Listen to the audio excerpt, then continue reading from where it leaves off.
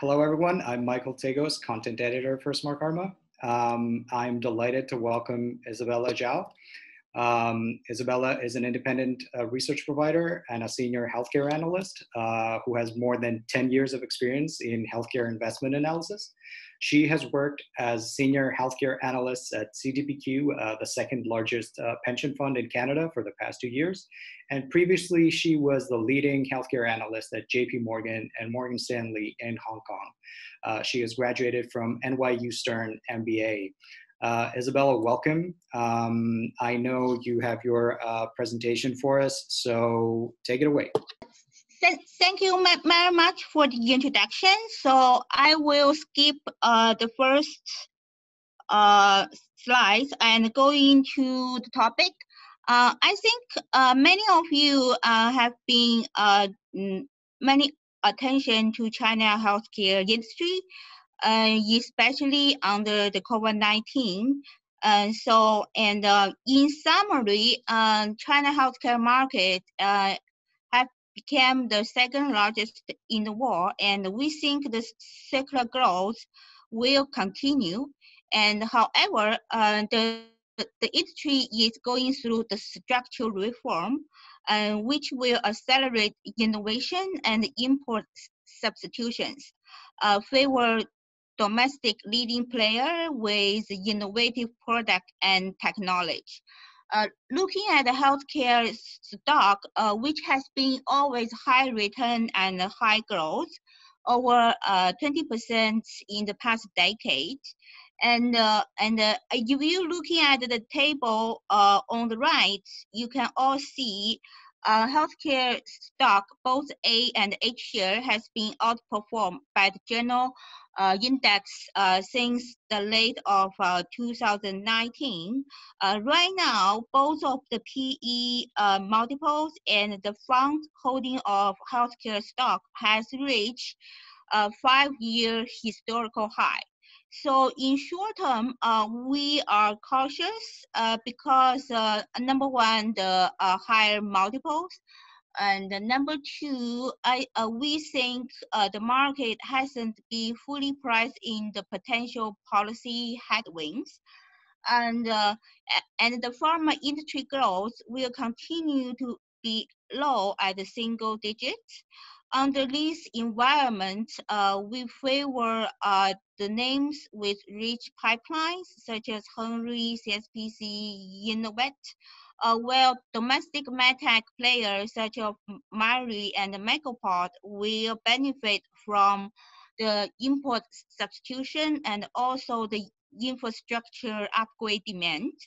Uh, on the other hand, uh, service companies are relatively immune uh, for the policy risk. So WuXi Biotech, Tigermed, and Aier Hospital will be less risk. Uh, next page. So the next slides, uh, we're talking into detail uh, on the healthcare uh, markets in size. Again, the second largest market, uh, which will expect to reach US dollar 2.2 uh, 2.5 trillion by 2013 at a CAGR of 8%. Uh, by reference, the CAGR of U the, the global pharma market growth will be at uh, 2, 2 to 3% uh, for the decade. And uh, the structural reform will favor large and quality players, uh, since the government have implemented policies such as uh, zero separate drugs from the hospital, uh, will reduce the corruption and increase the bargaining power and sales growth for, for drugs with better efficacy. Also, the mandatory BE study for generic drugs will rule out unqualified manufacturers and increase the consolidation of the whole industries. And the drug sales restriction less than 30% of total at hospital uh, imply higher growth at pharmacy and lower tier hospitals. And uh, obviously the profit pool is shifting away from generic products towards more innovative drugs and also uh, for Chinese companies, uh, we have higher R&D productivities because number one, uh, majority of them are not pursuing truly new innovation. Instead, they are trying to work on uh, derivative new product based on the existing um, molecule, uh, such as me better, uh, me too, and follow-ons. And also, uh, China R&D cost is much lower, about one third of that in US and Euro. And because we have lower, uh, lower price the domestic R, uh, CRO and CMO services.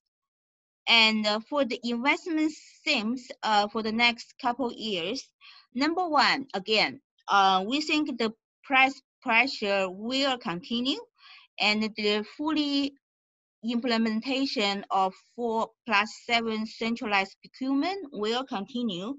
And the third round will begin in July and the shortage will uh, widespread across the regions. And uh, number two is the uh, centralized procurement for high-end medical consumables. And uh, so the timeline was uh, laid out in last year and will uh, fully uh, implemented in 2020. But unlike drugs, we think for the high value consumables, the price cut will not be severe compared to the generic drugs. And uh, number three is the accelerating approval and reimbursement for innovative drugs. Uh, we can all see, and uh, in the last round, uh, 17 cancer drugs in the reimbursement list receive an average price cut of 50%, and 10 of them are innovative drug launched since 2017. And uh, but the volume gain was much uh, more than offset uh, the price cut.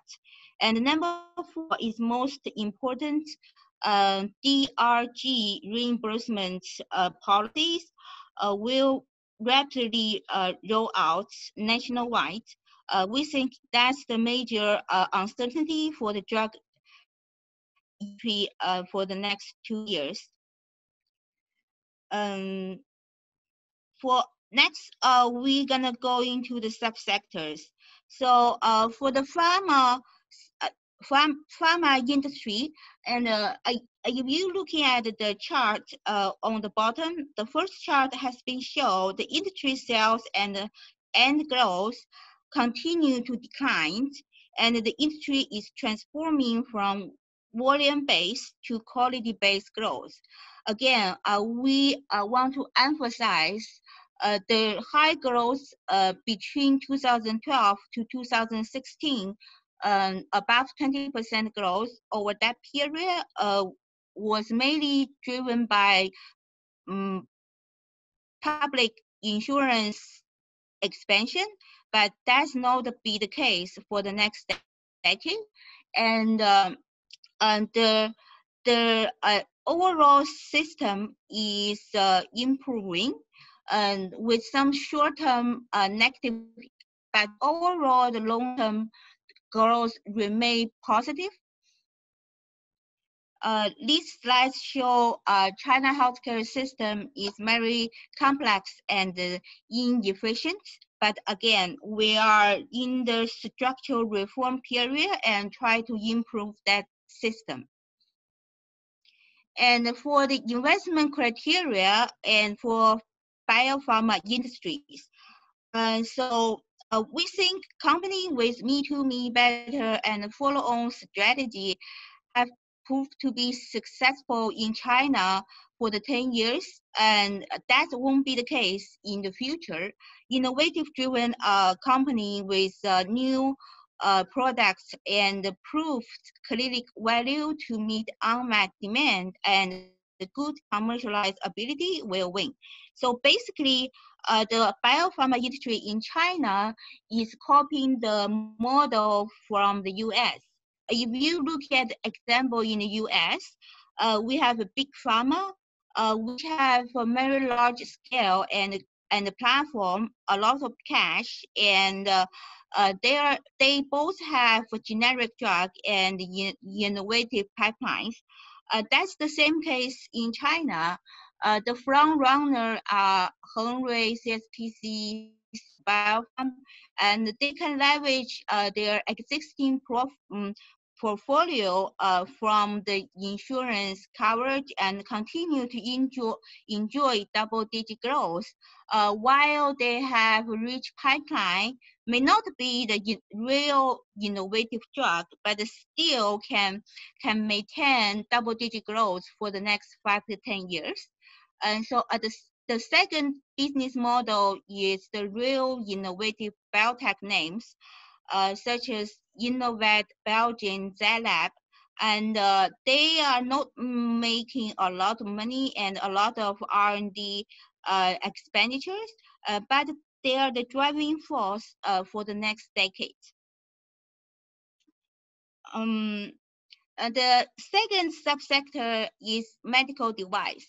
Again, uh, China medical device is relatively smaller uh, than uh, the pharma only accounts 40% of the total uh, versus uh, um, more than half in the US and Europe. So there's a lot of growth potential. And uh, um, the multinational companies still dominate the high-end market, and the leading domestic player only have less than 5% shares. And we see uh, a lot of policy change, um, same as the generic drugs. But most importantly, uh, the policy tailwind includes uh, the import substitution and um, which will further market consolidations and benefit leading uh, leading players. And uh, for the uh, price pressure on local player may not as severe as on generic uh, drugs. So uh, we prefer innovative high value players such as Mindray and MicroPort. And the third subsector we'll talk about is the CROs. Uh, if some of you have read my notes on CROs, uh, which has drawn a, a, lot of attention for the past three years, I think. Uh, I'm one of the um, longest analysts who cover WuXi Pharma um, since 2010, while they still listed in US. So there's a, a lot of changes, and uh, but but in summary, uh, the outsourcing uh, market is gonna growing at a much faster rate in China, both small molecule and biologic, and uh, with the favorite government policy, and also is less um, less um, risk in terms of uh, the the price uh, cut. And uh, we expect the small mo molecule CRO and uh, the biological CRO gonna grow at least 10% and 20% uh, respectively in the next five years. And the leading player including WuXi Biologic and Tigermed. And the next, and but not the least, is the private hospital market.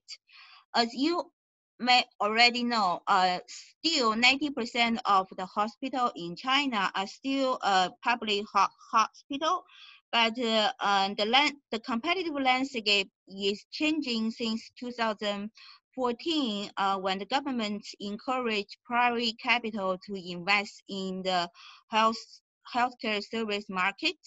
The private hospital will continue to grow uh, at above 20% CAGR and to reach 78 billion in 2020. And again, is um, the favorite government policy also uh, the demographic factor to benefit this growth. And uh, the most important thing is uh, for private uh, healthcare service markets, uh, they uh, have uh, they don't have the price control by the government because most of their service are not paying by government um, insurance. And so uh, we see the leading companies such as Aier Hospital, they do have price power. Uh, their ASP has been increased uh, at 10% uh, every year, will continue to do so. Uh, next, uh, I'm gonna go through some selectively healthcare names. Uh, for pharma, uh, we like Hengrui and CSPC and Innovent. Again, we want to highlight and and both of them are very attractive with existing portfolio and Hengrui is dominant in oncologies and uh, CSPC is cardiovascular. So their ex existing portfolio and continue to uh, to deliver 15 to 20 percent growth and in the next three to five years. And while they rapidly uh, ramping up their um, pipeline, um, but Hengrui is now trading at premium um, uh, above their uh, historical average, uh, we suggest to wait for for the rating. And while CSPC is trading at reasonably um, multiples, and uh, uh, we believe uh, can take the opportunity of the first half weakness, um, which they will report the results next week for 2Q and uh, to build some positions. And next is uh, uh. As I mentioned, uh, Tigermed is the uh, largest small molecule clinical CRO player in China, has enjoyed um, robust uh, 30% bottom line growth CAGR for the past five years and the demand from small molecule clinical CRO will continue to grow.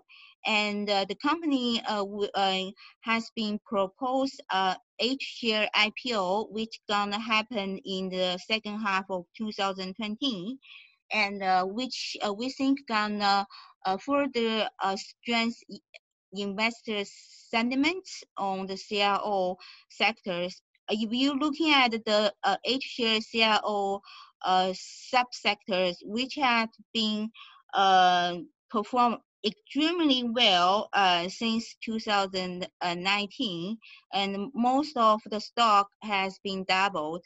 Uh, we think that's going to be the similar case uh, for Tigermed.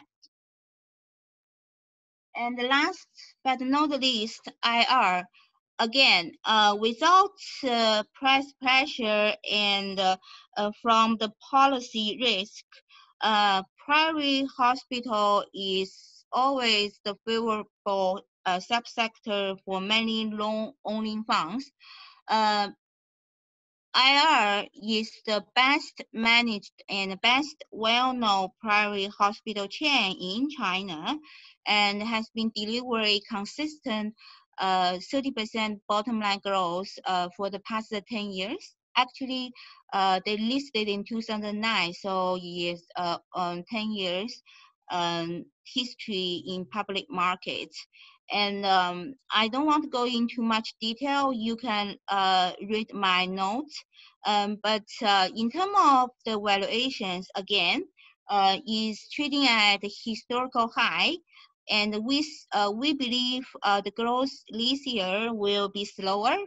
Um, of course, uh, also the management has reformed 30% growth, but we think the first half uh, will be much slower because uh, the disruption caused by the COVID-19, both in China and in overseas markets, which will continue.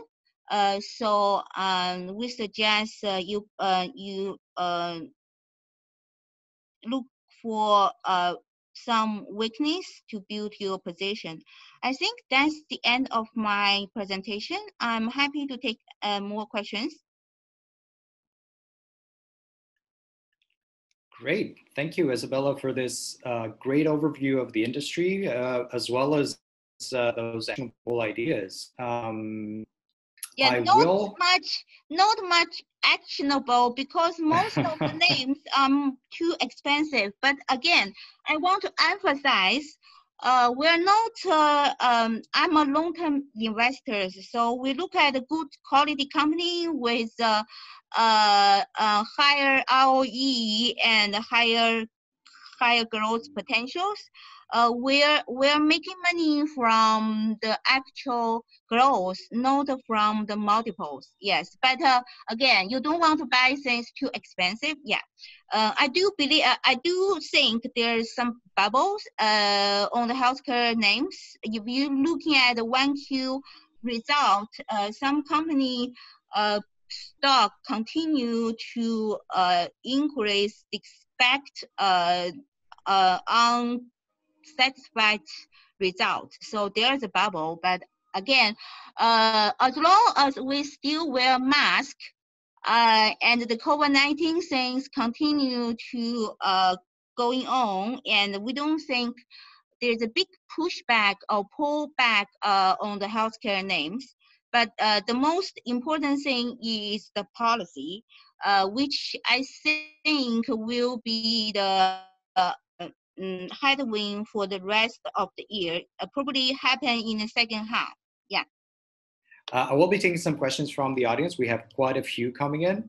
Um, so, um, would there be um, would there be one subsector that uh, you would advise uh, investors to look deeper into? Um, you you have already talked about some of the stocks, but um, uh, what's your view there? Uh, one subsector?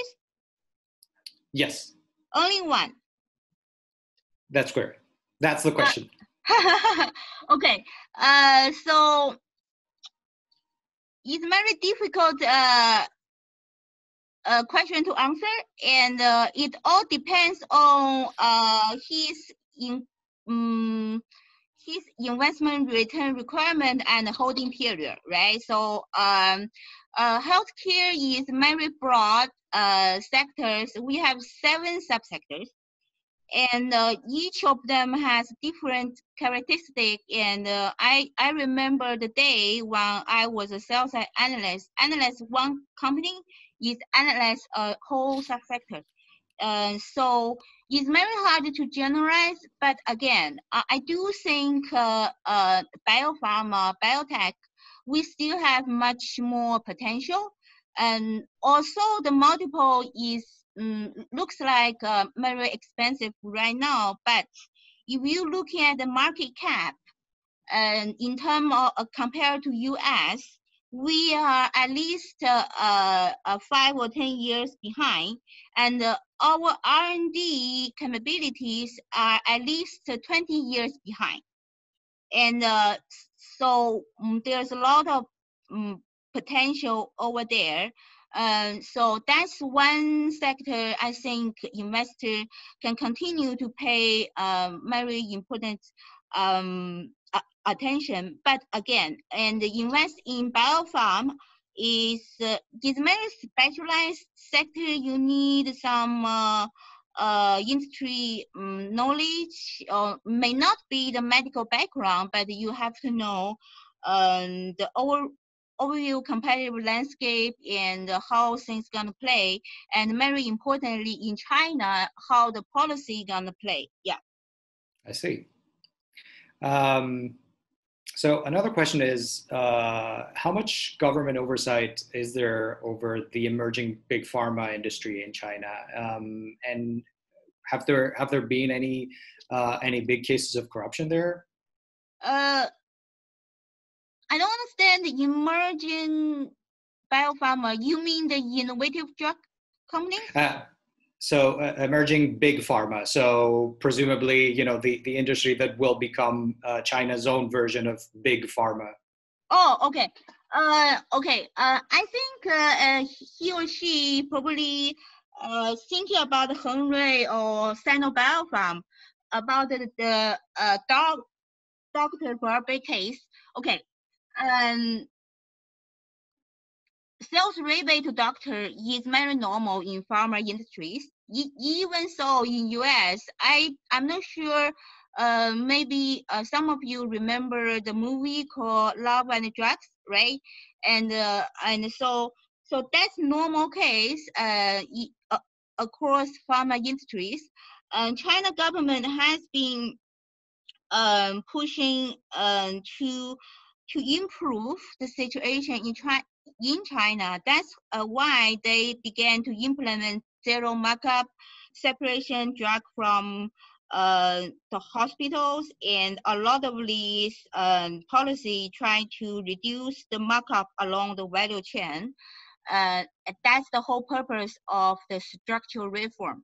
So I think Hengrui, CSPC, all these leading a uh, big pharma, yes, uh, they they uh, they have more than 20 or 30 percent uh, of uh, sales uh, mm, expense ratio.